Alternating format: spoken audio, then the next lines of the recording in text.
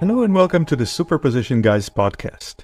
My name is Yuval, and my guest today is Sam Stanwyck, Group Product Manager, Quantum Computing at NVIDIA. Sam and I spoke about NVIDIA's QODA library, classical quantum integration at HPC centers, the advice that NVIDIA is giving its customers, and much more. We hope you enjoyed this episode. Hello, Sam, and thank you for joining me today. Hi, Yuval. Great to be here. Great to have you. So, who are you and what do you do? Yeah, uh, my name is is Sam Stanwyck, and I lead the uh, the quantum computing product team at NVIDIA. Um, so I've been doing that for about a year and a half now. Uh, my my background is in uh, experimental condensed matter physics. Um, that was my, my grad school work, and then I, I worked for uh, a quantum computing startup called Rigetti Computing uh, for about three and a half years, and then worked for worked on the quantum computing team at Keysight Technologies, working on quantum control systems for for about a year, um, and now now at NVIDIA. Excellent. So we spoke um, last year, and at that time, NVIDIA was just announcing some of their quantum products. Uh, so what's new since? What's new with NVIDIA and quantum since we last spoke? Uh, yeah, a, a, lot's new. So I think uh, last year we talked about uh, cuQuantum, uh, which is uh, the set of libraries that NVIDIA released for uh, accelerating quantum circuit simulation on, on GPUs. and the goal there was to um, was to really enable algorithms research. so probably, as most people know, today's quantum processors are are pretty limited in, in scale and especially in, in error rate.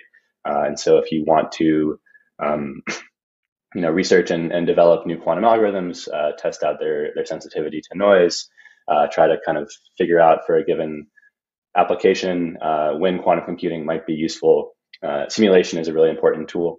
Uh, and the, the GPUs that we make are very, very good for simulating quantum circuits. and so cuQuantum was released a little over a year ago now.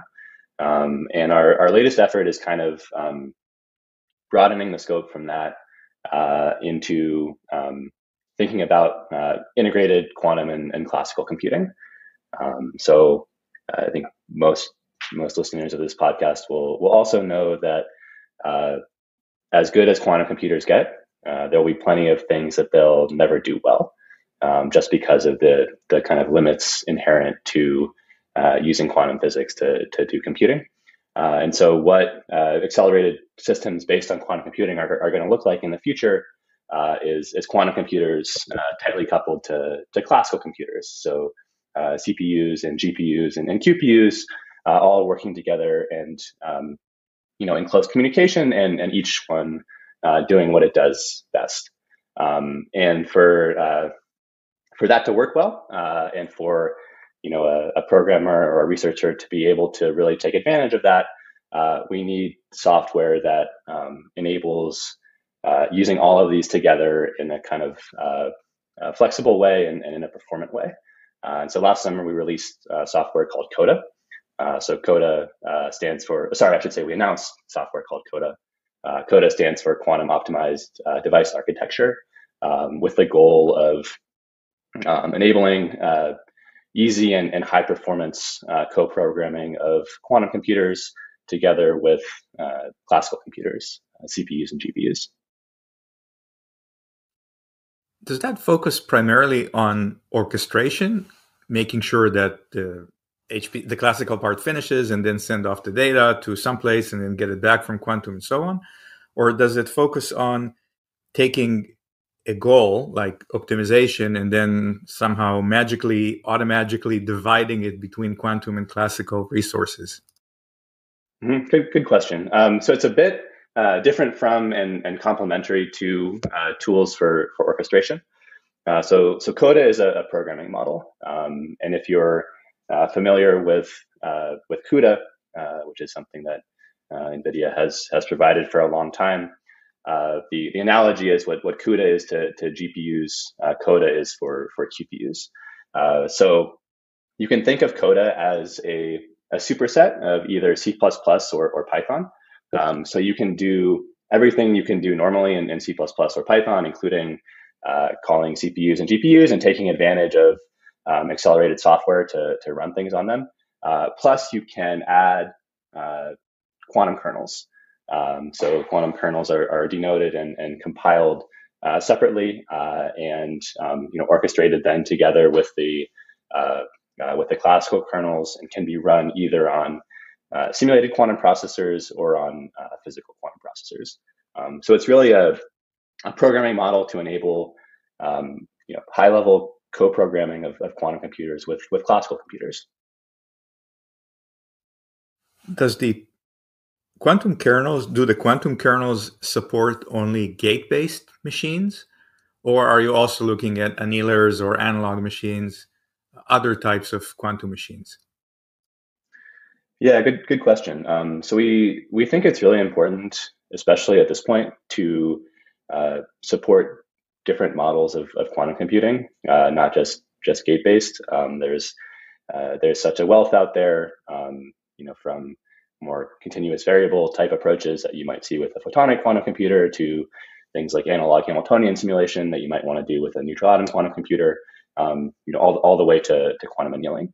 Uh, and one thing that we did at the, the very beginning with QODA uh, is establish partnerships with uh, leading companies building different types of, of quantum hardware.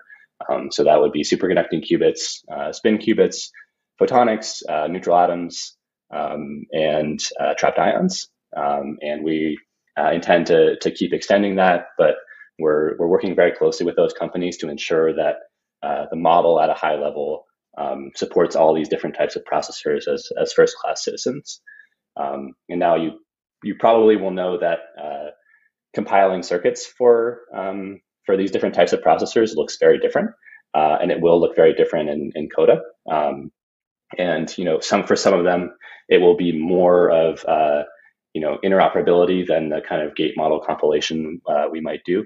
Uh, but at a high level in the model, they'll all be supported. One of the things that customers sometimes talk about is finding the best quantum computer or the best classical quantum combination for a particular problem that they have.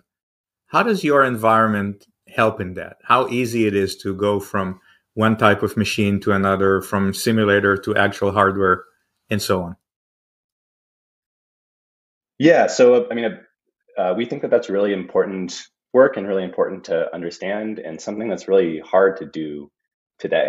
Uh, so uh, most quantum computers are, are, programmed in the quantum equivalent of assembly code. So talking about individual gates and, and individual qubit rotations, um, and that is needed for for the work today. Uh, but it's not so easy to um, to integrate with, you know, for example, a, a, a machine learning workflow, say a, a, generative adversarial network, where you want uh, you know one side of it to be classical and the other side of it to be to be quantum. Um, you need to go uh, learn a new language and, and figure out how to uh, kind of join those two. And you'll likely run into um, system and compilation level bottlenecks that'll make it really hard to evaluate uh, if you're actually getting an advantage. Um, and so the idea with with Qoda is that um, you could really just start from a an optimized classical uh, computing workflow and you know, ask the question, is quantum going to be valuable for this? Uh, and with Qoda, just uh, take part of that workflow or all of that workflow and test porting it to uh, a simulated quantum computer or a real quantum computer, uh, or just do resource estimation. Um, so, you know, we expect that it's going to be a really valuable tool for people looking to answer those types of questions. When you think about enterprise users that use GPUs today, uh, they could use them on a cloud, like on um, AWS, or they sometimes have their own high performance computing center. How do you see quantum in general fitting into that? What do you advise your customers? How, how should they sort of physically get quantum involved in these workflows? We expect that long term, uh, valuable quantum computing is is going to look like uh, quantum computers and classical computers uh, tightly coupled physically. Um, and so that is something that could be offered by a cloud service provider or could exist as, as someone's on-prem system. Uh, with that said, I think for the kind of work that's that's going on and, and needs to go on today, uh, it's it's perfectly fine to have uh, classical computing resources and quantum computing resources that are are not co-located. You're you're still able to uh, understand a lot of things and and develop new algorithms. Uh, you just often kind of hit the uh, communication latency bottleneck that uh, you know long term is going to prevent you from doing valuable quantum computing. Um, but you're not able to do that anyway right now. Um, so we think it's still um, still a useful paradigm for a long time. Could you share a couple of examples of customers using Qoda today and what they're doing with it? Uh, so Qoda is actually not uh, not released publicly yet. Uh, so um, that is uh, look out for that a little bit later this year. Um, but we we have announced a few partners. Um, I can't I can't talk in detail about what they're doing. Um, but one one group is uh, QPU providers, uh, and so what they're doing is uh, connecting their hardware to to Qoda and um, and working with us to make sure the model is optimized for their hardware. And so uh, that group right now includes uh, Quantinuum, uh, IQM, Pasqal, Xanadu, Rigetti, and and Quantum Brilliance. and again, we we intend to expand that.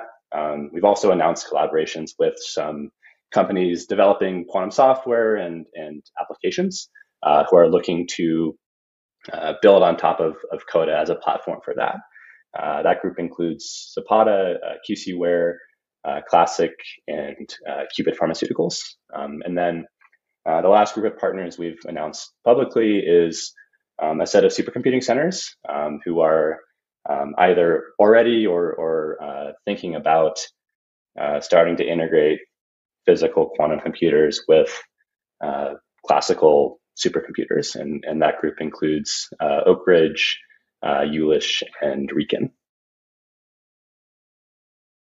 If I understand CUDA, the classical part, correctly, then NVIDIA engineers have worked really hard to make sure that I could run an algorithm in a fairly optimized way, regardless of what NVIDIA GPU I'm using.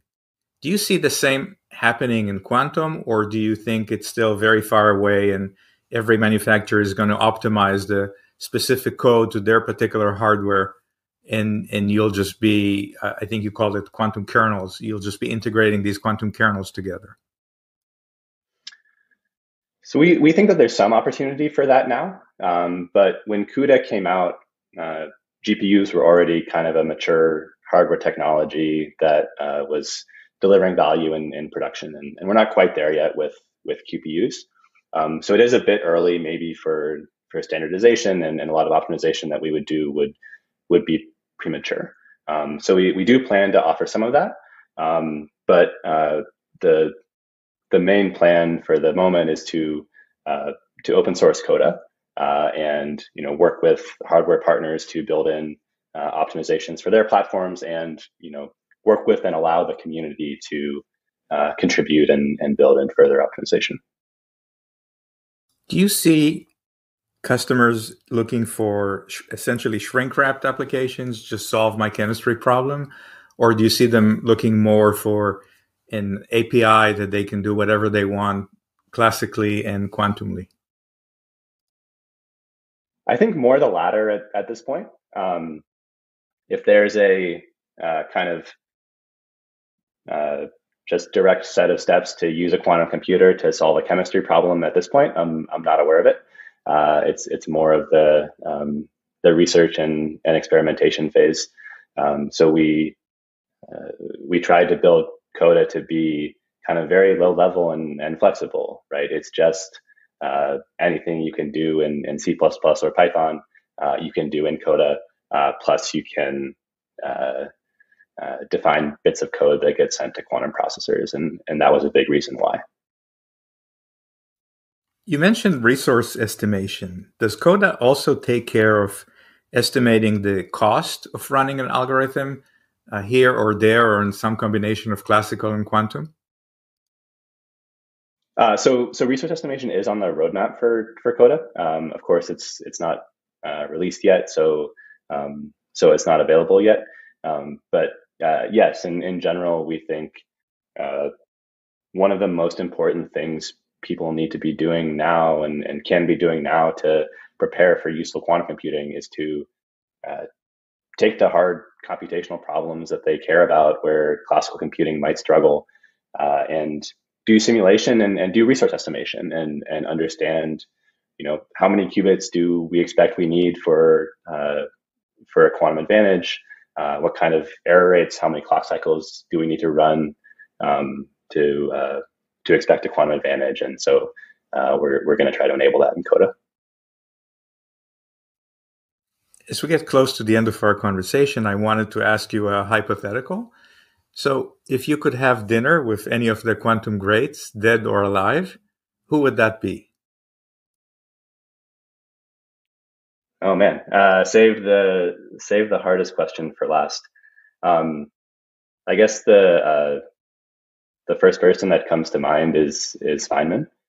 Um, so you know, in addition to being incredibly brilliant in, in a lot of different domains, he was, um, as as many people know, very kind of charismatic and interesting to uh, to listen to, and and a great teacher. Um, and he was, uh, uh, you know, one of the early, very early people who who talked about, you know, what a quantum computer might might do as far as simulating nature. Um, so I would I would think he'd be pretty uh, pretty interested and excited to see kind of how far things have come in in the last few decades, and uh, I'd be really interested to to get his perspective on it. Perfect. How can people get involved with Qoda, learn about it, uh, perhaps get eventually trained on using the the new offering? Uh, good, good question. So we have a uh, we have a website. Um, I'm, I may butcher the the URL, but I think it's uh, developer.nvidia.com slash slash qoda, um, where you can apply for early access. Um, if that URL is not right, I think just searching for it uh, should should bring it up. Um, you can also you know feel free to to reach out to me on on LinkedIn and you know look out for an announcement of a public beta later this year. Excellent. Thank you, Sam. Thank you so much for joining me today. Thanks, Yuval. It was great. Great to be here.